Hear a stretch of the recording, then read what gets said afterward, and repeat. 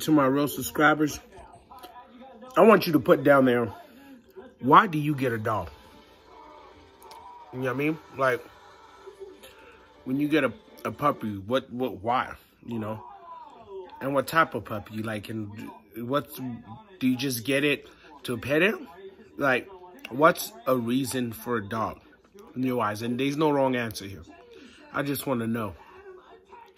Because this new wave of things is getting out of hand.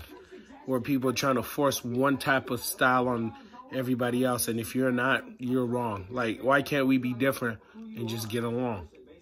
I'm just saying, why can't we be different and just get along?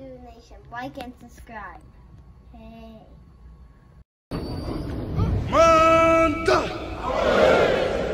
Manda! It's story time.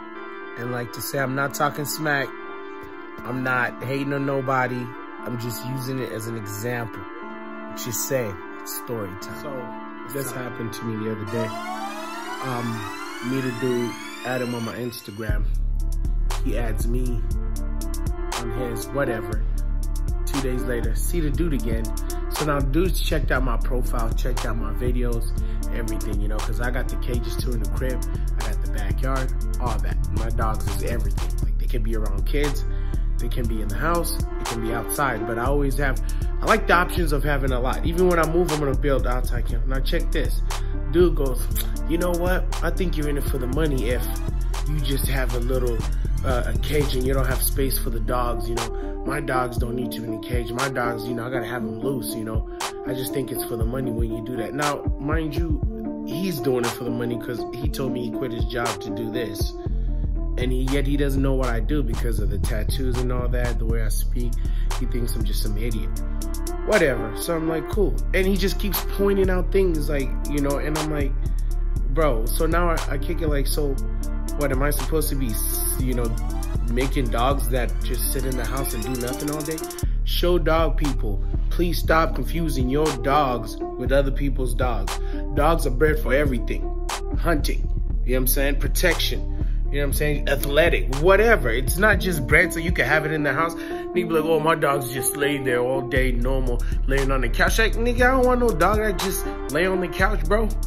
I'm just being real. Like, that's not how I do it. You know what I'm saying? Where I grew, grew up, dogs have purpose. We don't just get dogs just to have it as a pet. I mean, it's respect and you become part of the family because everybody in the family is working. Everybody in the family puts in on what we do.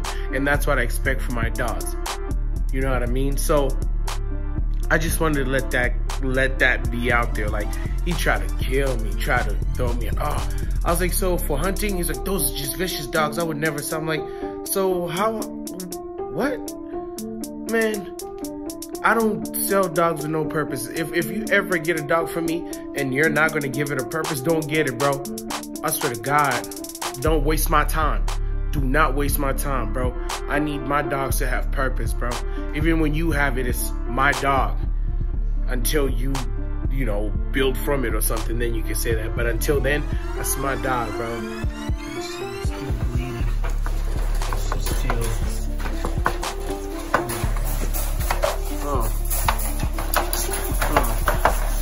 Say what up, people.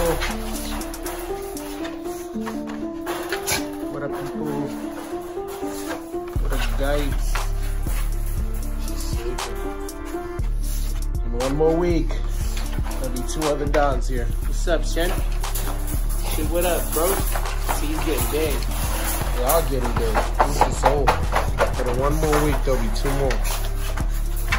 Like I said, as you can see, they're bleeding. He's ready. These will be the two right here.